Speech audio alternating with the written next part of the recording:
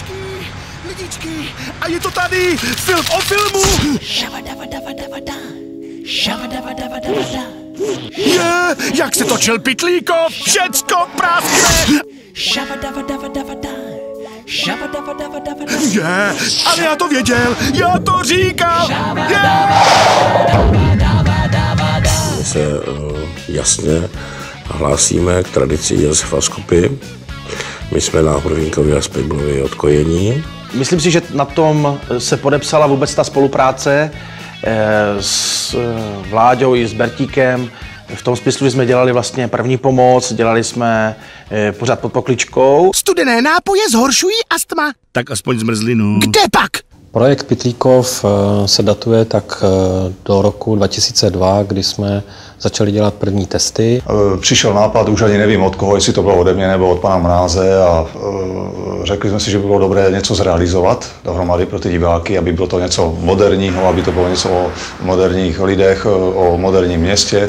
Pitlíkov jsme tenkrát zasazovali spíš do prostředí třírozměrné animace. My jsme samozřejmě díky tomu, že jsme se v roce 2006 v době vzniku eh, seriálu eh, dostali do časové tísně, eh, tak nás přes noc napadla jedna myšlenka, že bychom vlastně to město využili z časozběrného snímání reálného města. Samozřejmě jsme Ostraváci, takže jsme se vrhli na Ostravu.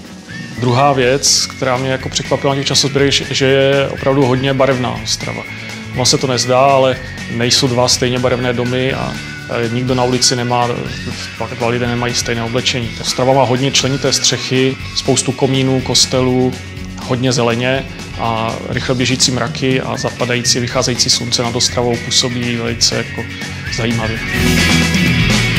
Malovalo se mi to dobře, figur eh, jsme museli zpracovat hrozně moc, eh, z toho se pak vybíralo charakterově, aby to odpovídalo scénáři a tak dále, tak dále. Ono se to upřesňovalo. De facto dá se říct, že realizace eh, seriálu krystalizovala během již vlastní, vlastního vytváření toho seriálu podle požadavků televize anebo podle toho, jak se krystalizoval scénář. Ty postavičky mám tady takhle, takhle před sebou abych kdykoliv k té postavě a na tu postavu viděl, abych s nimi mohl žít. Květuš se tuší jmenuje. Takže ta určitě tedy už je taková, už bych řekla, eh, že už mi tak nějak patří. Pak jsou tam ty ženské, které jsou, víš, jsou méně či více afektované. Nebo některé jsou úplně samozřejmě ukecané, samozřejmě jako třeba je tam taková jedna postava, taková ta blondýnka, teda to už jsem možná říkala, že to je taková blondýnka. No ale jsou tam i třeba ten Černok, že jo, protože to je potom smůla, když se nepovede to všechno tak, jak má. Je tam samozřejmě i Arab, který je trestaný za to, že eh, dělal chyby, tak eh, jeho tačně vždycky nechal popravit eh, jiná člověk. No a pak samozřejmě ty neživé, ale je to různě. Člověk samozřejmě si taky hledá o takových těch zvukových, že jsme třeba hledali, jak by mohla dělat disketa, že sk, sk, sk, sk, když se načítá, já nevím co všechno. Mám pochopitelně několik vybraných postav, pro které píšu prostě skoro, jde samo. To jsou policajti, no, ať se na mě, já se omlouvám teda, to jsou policajti, protože to je věčný zdroj inspirace. E, jasnovitky, které jsou takové celé pomatené a připomínají mi některé lidi. A navíc vždycky dobře poradí, takže oni vlastně nesou to pozitivno. No a Potom samozřejmě Pochovská dušinka a tata s mámou, jsou zase eh, věci, které se mi strašně dobře jako dabujou. Dušinka, to kdo to ti říká, dušinka, víte? No. To, jak vlastně ta postava se vlastně uh, chová, si tady nahrávám a samozřejmě ty jednotlivé potom gesta, který, který vyrábím, vlastně si sestřihávám a vzniká pro animátora nějaké vodítko, který ho navede, co s tou postavičkou všechno vlastně má, má dělat. Bylo dobré, mm, že vlastně jsme mohli dělat doma. Já si myslím, že tady tohle to taky hodně urychlilo práci, protože Eh, když je tolik lidí pokupě jako takhle, že by si neumím představit, že by tady sedělo 30 lidí a animovalo, že by, je to takový zmatek. Jo? A tak vlastně já jsem seděla, dostala jsem úkol a ten úkol jsem splnila. A odeslala jsem to internetem a čekala jsem, jestli, jestli je schválený nebo neschválený a tak. Jo? Že vlastně tam nebylo nic, co by mě rozptilovalo něčím jiným. Nedělnou součástí je samozřejmě produkce a taková ta pobočka asistenta režie, my samozřejmě u toho eh, seriálu máme stránky, které se týkají jenom toho seriálu, kde si eh, chodí jednotliví animátoři a berou si z toho scénář, postavu, případně eh, to moje předehrávání té, té postavy. To všechno je na internetu a animátoři mají k tomu volný přístup. Takže ve firmě sídlí jenom lidé, kteří tu organizaci animátorů řídí co byl asi největší problém, byl takový ten byč nad těmi animátory, aby nám všechno odevzdávali včas, že? Protože pokud nám vypadla nějaká animace do nějaké scénky, nějaká figurka a tři ostatní figurky jsme naanimované měli, tak to už byl potom problém, že? To už poznáváte, že?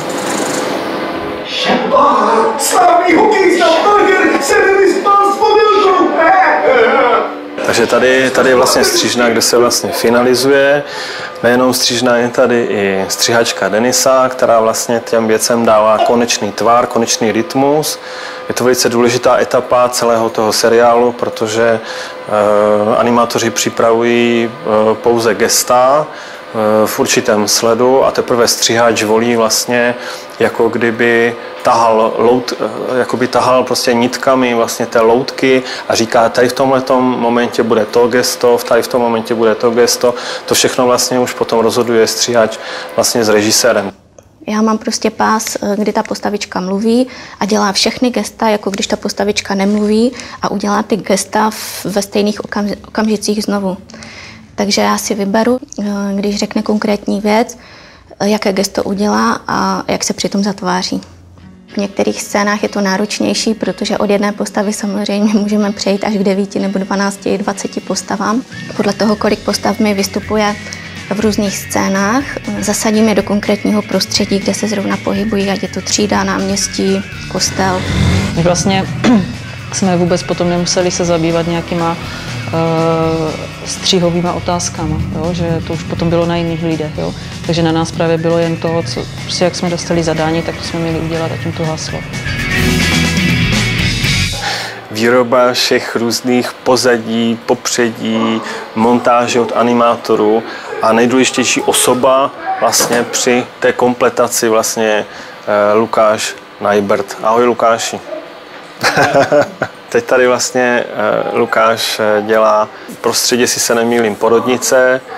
Jinak eh, tady vlastně vidíte, že je tady sestava různých reálných fotografií, protože ta kombinace těch reálných prvků s tou animací, to je opravdu jedna ze zvláštností toho seriálu. Jsme použili jako speciální efekt, který vytvářel eh, dojem eh, takového rozmazaného pohybu. Tím pádem všechny ty barvy vnikly a z lidí se stávají jenom barevné šmouhy, které se pohybují eh, na nějaké ulici nebo na pozadí nějakého domu.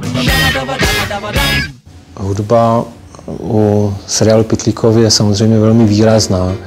Je to od skupiny Vohnout. Kluci z Vohnoutu jsou velmi, velmi přizpůsobiví a celá ta hudba je zajímavým způsobem melodická a přitom, přitom do určité míry eh, stereotypní hodně používají smyčky a podobné věci, eh, což bylo přesně, přesně ono pro ten náš styl eh, seriálu, který taky pracuje hodně ve smyčkách a pracuje hodně v určitých stereotypech těch pohybů, těch postav a podobně. Tohle je opravdu seriál v podstatě na každý den, protože těch problémů kolem nás je takových těch nafouknutých problémů, jako jestli mléko je nebo není zdravé, eh, jestli prostě se Darwin opravdu zmílil, jestli jsme o zopice nebo ne a podobné témata, těch je opravdu nepřeberné množství a je fajn se mít možnost eh, prostě jako, jak teď mluvím jako tvůrce, se k těmto tématům vyjadřovat a jestliže se vyjadřujeme humorem, tak, eh, tak si myslím, že to je nejčistší cesta přímo do divákova srdce. Laskavě podaná ruka tomu humoru, který věřím, že v nás ještě je a který věřím, že stačí do něho trošku dloubnout a on se vyskočí jako čertík z krabičky a, a dá o sobě vědět, no, že to je šance, humor. Jsme dobrá parta. Děláme pro to, co můžeme a myslím si, že to je vidět prostě na špici. Au! Au! Takové přísloví, že? Takhle jsem to rozhodně nemyslel. To... Au! To... Au! Au, pomoct, ne! Au! mais.